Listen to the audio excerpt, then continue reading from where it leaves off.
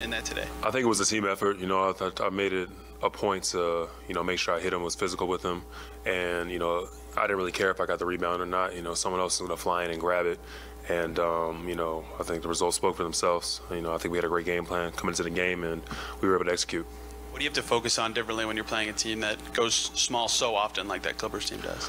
Um, I mean, I think the biggest thing is just not changing the pace of the way you play. You know, switching it is designed to make you kind of second guess what you're doing or slow up the offense. But um, I think we did a good job of playing our game tonight, and um, you know, it was a it made it a lot easier for us to down the stretch, just knowing what we needed to do. Rick and Tyrese have talked a lot about how the, the trust level in Tyrese to make the right plays in the fourth quarter for you as his teammate. How much trust do you have in him when he's out there to make a pass, make score, do whatever the team needs in those? No, all the trust in the world, man. Tyrese is um, has proven time and time again that he can, um, you know, really take over in times like that. You know, towards the um, the end of the game, and he's doing a phenomenal job for us. And um, I, I believe he's going to uh, continue to do so.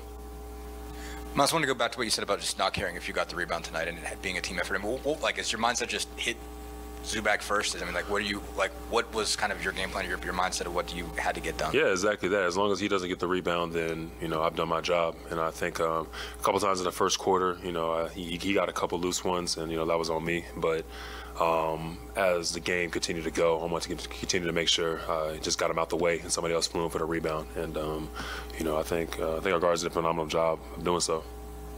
We talk about Halliburton finishing, but you as well. What were you sensing? What did you feel out there from your matchup and what you could do, especially there in the post? Um, well, exactly what he was saying. Um, you know, they went small, and um, you know, in times like that, I got to assert myself a bit more. I think I did a good job of doing that, and um, you know, my team put me in good positions. I was able to finish down the stretch, and I was able to get to the free throw line this game and uh, uh, make a lot of headway there as well.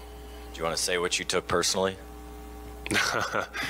I mean, we can really get into it if you want to, but I think you know the answer to that. You know, I think last game, you know, a lot of there was a lot of noise being talked after that game, and um, you know, as a player, every now and then you look for, you know, certain motivations to get you get you going and whatnot. And tonight was one of those situations for me. So you know, it was a, um, I just I took the matchup personally. Yeah.